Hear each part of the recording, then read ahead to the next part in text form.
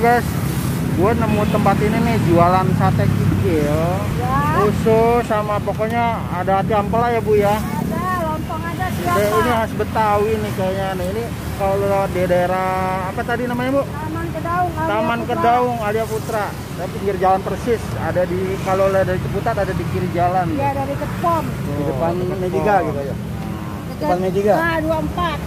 Oh dekat dokter 24 jam tuh depan jadi di gerobak ini depan nih langsung lagi tuh buat nemu di tempat nah.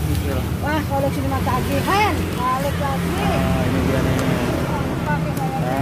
Lu kalau kangen kata kikil ala-ala Betawi, lu datang aja ke sini. Ya. Ibu dengan ibu siapa bu? Hmm? Ibu siapa namanya? Oh, Ibu Desmi. Ibu Desmi. Ibu berapa lama dagang bu? Udah. 11 tahun, Bapak. Oh udah 11 tahun dagang kikil. Waduh mantap nih.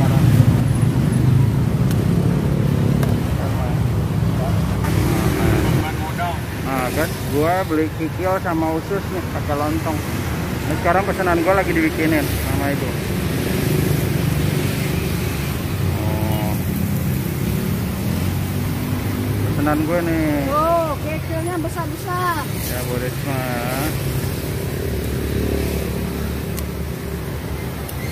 Tutup jam berapa? Buka jam berapa? Tutup jam berapa, Bu? Buka jam 6. Jam 6 10. jam 6 sore tutup jam 10 malam ya. Oh. Oke, oke.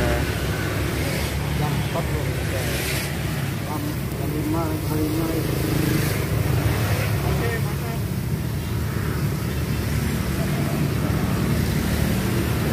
Ya pokoknya kalau penasaran datang aja ke sini langsung ya daerah Jombang tadi. Eh Kedaung nggak? Taman Kedaung. Taman Alia Kedaung. Alia Putra. Pokoknya di persis seberangnya dokter 24 jam. 24. Oh. Oke, ditunggu nih sama Ibu Desma nih ya. Yuk.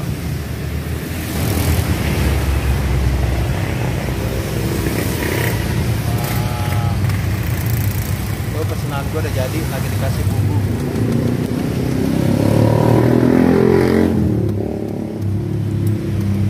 Bu satu porsi berapa?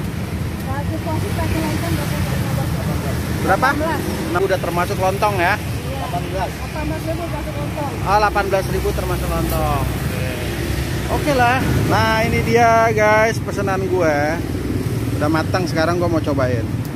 Aduh, nggak sabar nih. Makasih ya, Bu ya. Iya, Pak. Iya.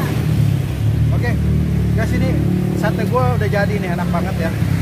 Terus biasa lu kalau bilang pesan pedas nanti kasih pedas kalau bilang sedang ya tetap aja pedas. Karena gue pesennya bilang nggak pedas tapi ternyata pedas.